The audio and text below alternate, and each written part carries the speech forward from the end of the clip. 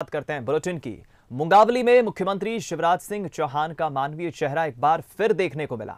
मंच पर बैठे मुख्यमंत्री शिवराज सिंह की नज़र जैसे ही दीपा केवट पर पड़ी, दीपा के आँसू देखकर मामा शिवराज भावुक हो गए और अधिकारियों को कहकर तत्काल सीएम शिवराज ने दीपा को अपने पास बुलाया और उसकी बात सुनी। दरअसल दीपा केवट लंबे समय से परेशान थी, कई बार इलाज के लिए आवेदन कर चुकी है, लेकिन अभी तक दीपा की किसी ने मदद नहीं की, उसे कोई सरकारी मदद नहीं मिली।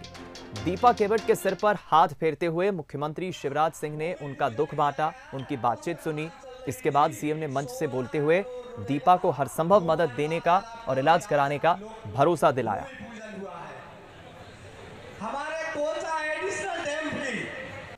आज एक बिटिया मेरे पास आई, दीपा केवट। उसकी आँखों में आँसू थे, क्योंकि आँखों से ठीक से देख नहीं सकती।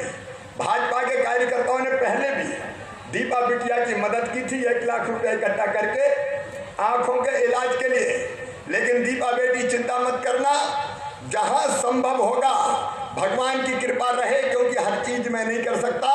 लेकिन जहाँ भी इलाज करवाना संभव होगा, तेरा इलाज तेरा मामा करवाएगा। ये सरकार करवाएगी, चिंता मत करना।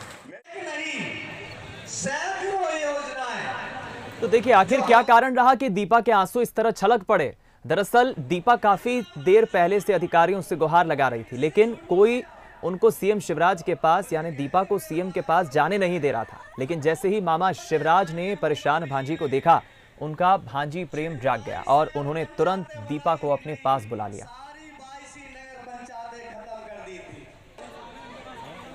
हम रुक करेंगे। स्वदेश शर्मा हमारे साथ इस वक्त हमारे संवाददाता फ़ोन लाइन पर जुड़ गए हैं। स्वदेश ज़ाहिर है कि किसी दुखी या फिर किसी ऐसे इंसान को देखकर मदद करना तो एक मानवीय चेहरा है। इंसानियत के नाते सभी करते हैं लेकिन मुख्यमंत्री को हम इसके पहली मरतबा भी कई बार देख चुके हैं। मुख्यमंत्री अक्सर इस तरह के भावुक व्यक्तियों के साथ या आम लोगों के साथ जुड़ाव रखते हैं। यहाँ पर क्या हुआ था? जरा हमें सिलसिलेवार पूरा बताइए। मुख्यमंत्री ने जैसे ही दीपा को देखा पास बुलाया क्या कुछ हुआ था? जी दीपक जी, मुख्यमंत्री हमेशा से बच्चियों के प्रति एक अलग स्नेह रखते हैं और हमेशा मानवीय चेहरा सामने आता है। आज भी जब सीएम मंच पे पहुँचे तो सीएम को देख के ये दीपा केवट जो बच्ची है, इसको ट्यूमर है आँख में। काफ़ी दिनों से परेशान है, कई अधिकारियों के यहाँ इसने गुहार लगाई है, लेकिन कहीं भी इसे राहत नहीं मिली उपचार नहीं हो पा रहा था। एक एक गरीब परिवार से, जिसके बाद ये रोती हुई मंच के पास पहुँची है तो बैरिकेड्स के बाद सुरक्षा कर्मी इसको रोकते हैं। इसके बाद मीडिया के कैमरे जब इस बच्ची पे पड़ते हैं और उसके बाद सीएम शिवराज सिंह की नज़र इस बच्ची पे पास जाती है तो सुरक्षा कर्मियों से और उसको बच्ची को मंच पे पहुँच बुलाते हैं और इसको न केवल दुलार देते हैं उसको विधिवत अपने पास बिठा के समझाते हैं उसे आश्वासन देते हैं उसके बाद कलेक्टर को बुलाते हैं और कलेक्टर को भी इससे तुरंत इसका उपचार करवाने के लिए निर्देश दिया जाते हैं। उसके बाद इन्होंने मंच से भी सीएम ने इस बच्ची के प्रति बोलते हुए कहा कि देश में किसी भी हॉस्पिटल में जहाँ अच्छे से अच्छा उपचार होगा उस बच्ची को वहाँ उपचार दिया जाएगा और इस बच्ची को बिल्कुल पूर्ण तो स्वस्थ कराया जाएगा।